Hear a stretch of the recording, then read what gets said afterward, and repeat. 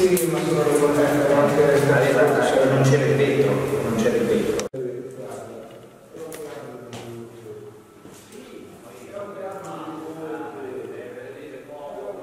a fare queste cose.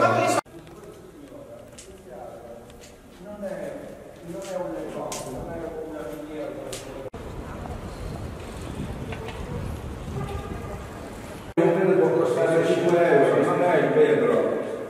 E che loro non lo devono neanche fare, perché sono civiltati tutti.